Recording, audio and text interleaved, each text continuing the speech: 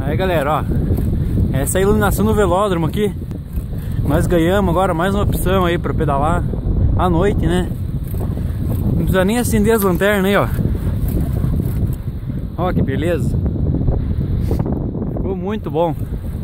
Então agora no inverno Ou de manhã muito cedo Dá pra vir aí pedalar Sem problema nenhum.